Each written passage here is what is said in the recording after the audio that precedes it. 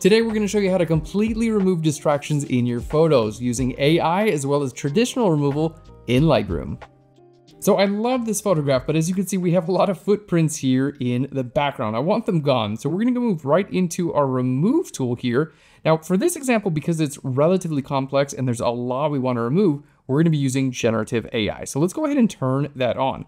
Now this is super simple. Literally all you have to do is simply paint over the area you'd like to remove, let go and click on remove.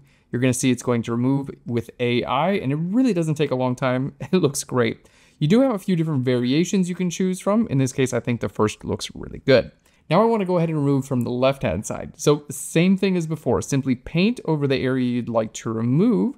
There we go, kind of bring that right into the center, and you're gonna see it's completely gone.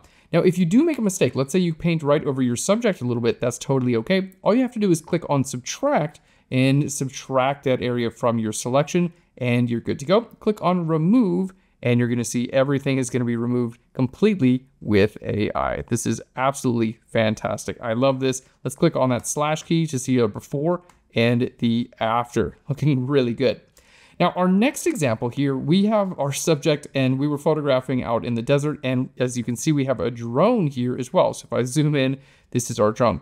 Now, because this is a relatively small uh, distraction that we want to get rid of, we can use traditional methods. So we're going to go again to our remove tool. I don't have to click on generative AI. I'm going to simply paint over the object I'd like to remove and our fill is going to be set to remove. And as you can see, it's done a fantastic job.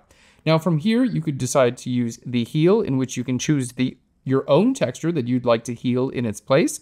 You could use the clone if you want to create an exact copy. That looks pretty good too.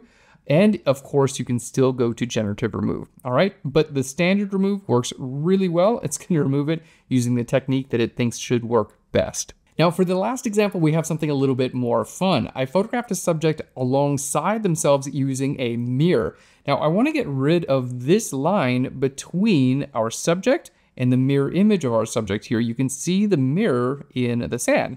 So we're going to go to our remove tool. This time I do want to use generative AI because we've got quite a large area. Okay, and again, all I have to do is paint. We're going to go ahead and use the open and close brackets to make our brush larger or smaller.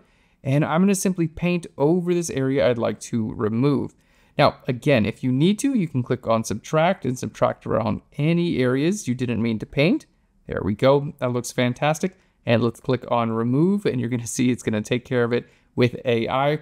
This is going to perfect this illusion. There we go. And now you can't even tell there was a mirror there. Creates this really cool effect. I'm just going to go ahead and get rid of this little root that was sticking up there. And you can see it over here too. Just a little bit of distractions and we're going to remove that as well.